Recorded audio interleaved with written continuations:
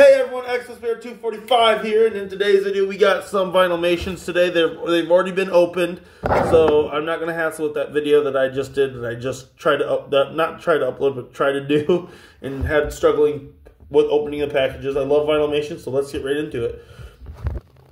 First we got Banzai.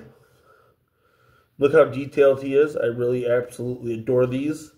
Um, then we got Genie from Aladdin. We also have Aladdin coming too. He's not here yet. We got Fat Cat.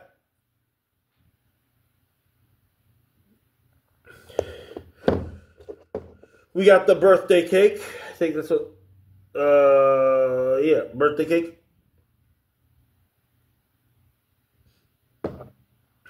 We got the Captain America one. We got Pluto. We got Mad Hatter. Oh, well, he fell. He fell.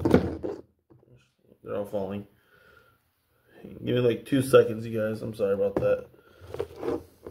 His hat's a little loose, which is okay. Then we got we got um we got pork chop, Doctor Evil pork chop. We got the Star Spangled Banner. we got Bambi. Excuse me. We got Bambi. And we got Flower. And yeah, I'm going to take you guys over to the shelf now, so I'll be right back. These are all the Vinylmations I just received today. So I got Banzai, I got Genie, I got Pluto, I got Dr. Evil Pork Chop, Mad Hatter, Captain America, Bambi, Flower, Fat Cat, Birthday Cake, and Star Spangled Banner. Hey everyone, it's me, Xmas Spirit 245, and I am at 86 Vinylmations, if you guys are wondering.